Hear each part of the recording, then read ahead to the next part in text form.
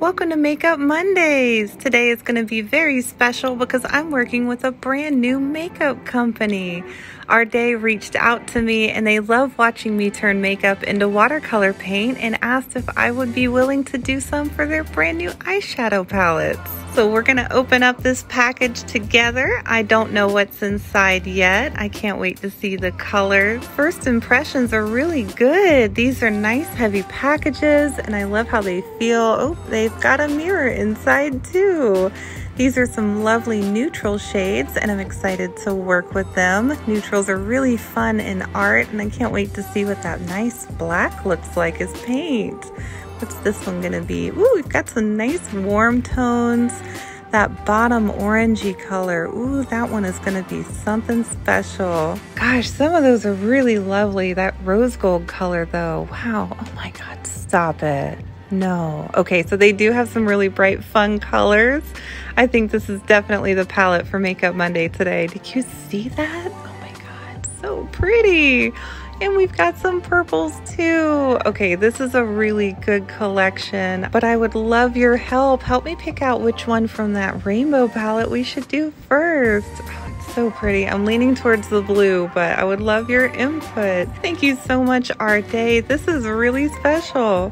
I have a very petty favorite new hobby, and I would love to tell you about it while I turn this just released Ardé eyeshadow palette into some watercolor paint for you. Y'all would be surprised, or maybe you wouldn't, about the number of just ignorant, spiteful, nonsense hate comments that I get on this account. And my new, very favorite thing to do is just pin them to the top and let you guys deal with them. This has lovingly become known as my pin of shame, and lately I've gotten to use it a whole bunch because I made a five part series detailing out all of the things Jeffree Star has done in a row that make me think he's a terrible person.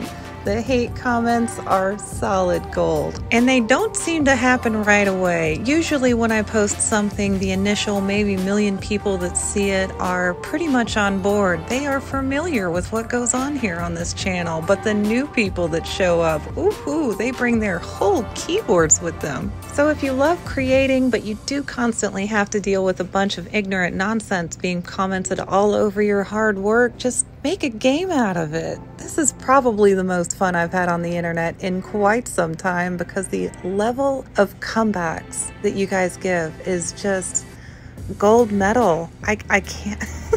some of it is so funny. Just the level of education I'm receiving with, with some of these clapbacks, they are amazing.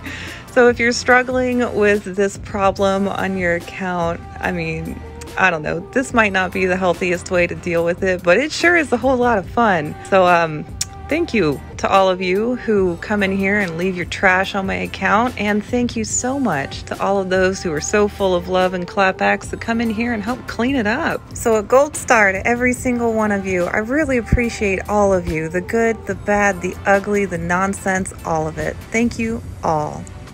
How to turn eyeshadow into paint. Step 1. Remove all of the product from the compact and take care to get every single last bit of it so the makeup police don't come to your door and arrest you for wasting it. Then use a credit card or a palette knife to chop that stuff up party style. The finer the powder, the easier it will be in your remaining steps.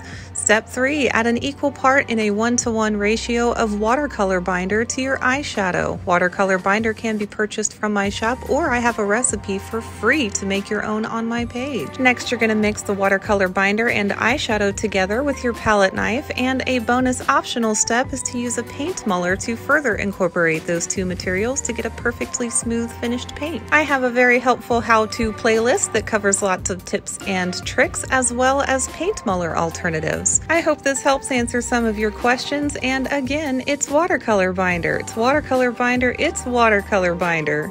I'd like to tell you a little bit about the life of a man named Bob Ross while I turn this beautiful Ardé eyeshadow palette into watercolor paint for you. Bob Ross, Robert Norman Ross, was born on October 29, 1942, and he passed on July 4, 1995.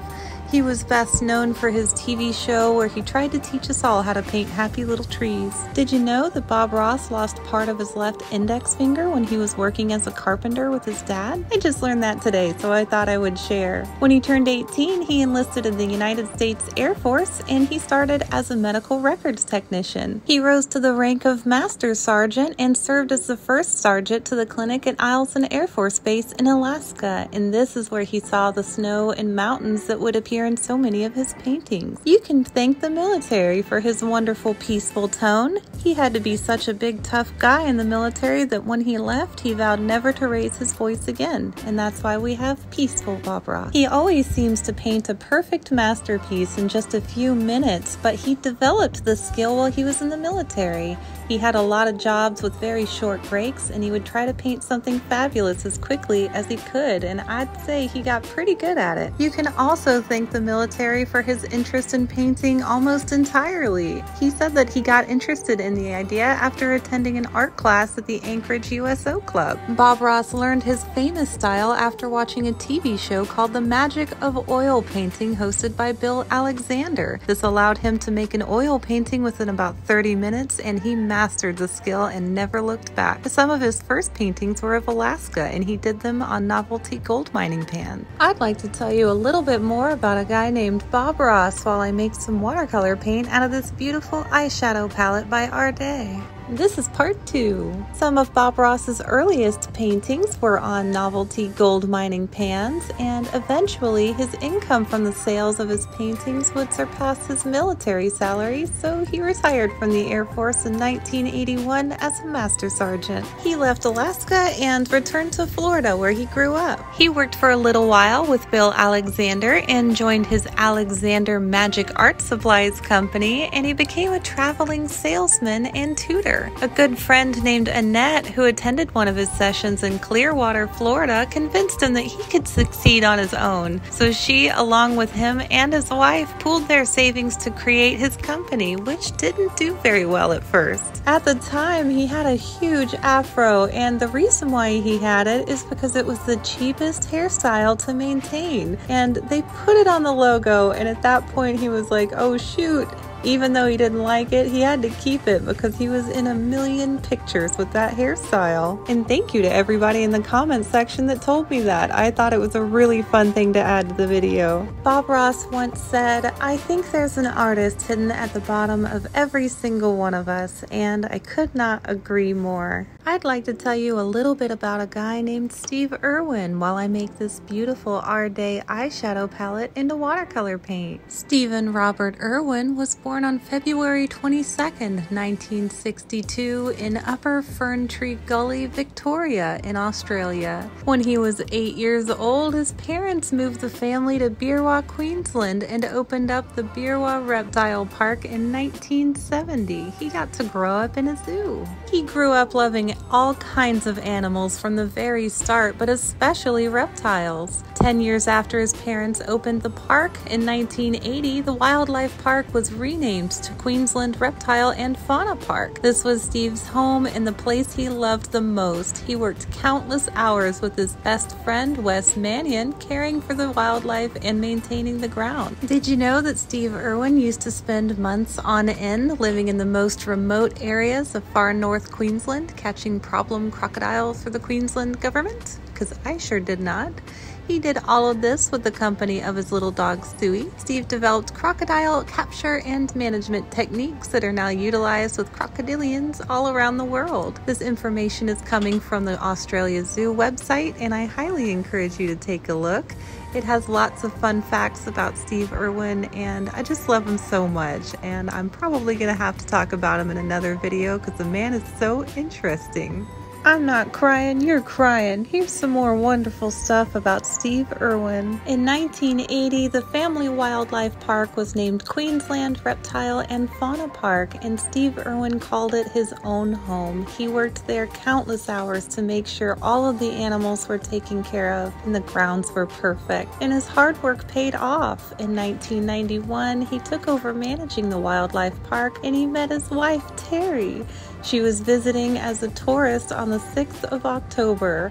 They were married in Eugene, Oregon on the 4th of June the very next year. Instead of a honeymoon, the couple embarked on filming a wildlife documentary with John Stainton from the Best Picture Show Company.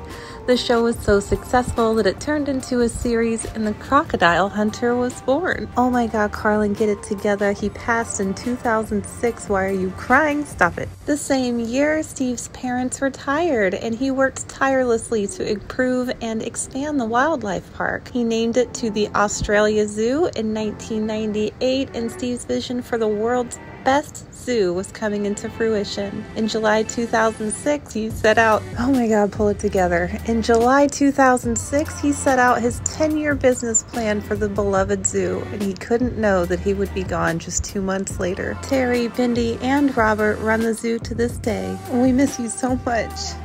I finished turning the whole Ardé palette into watercolor paint today and I'm really curious to see what I can make with it so I decided to paint very fancy burlesque inspired lady. When I made the swatch card I tried to make them as opaque as possible so you could see how shiny each of these paints are but for this one I want to show off as much texture as I can get. With metallic eyeshadows they tend to be a little bit more grainy than a normal watercolor. They don't have that beautiful bleed inky effect. So you kind of have to build up your texture where you want it with your paintbrush. I really think this came out nice. If you would like to call this palette your very own, you are welcome to bid on it on eBay. Starting bid is $1 and it will be a 10 day auction because that's how long it takes for the paint to dry. I'm also including my little painting of the fancy burlesque lady as well as the swatch page, but I am keeping those round ones.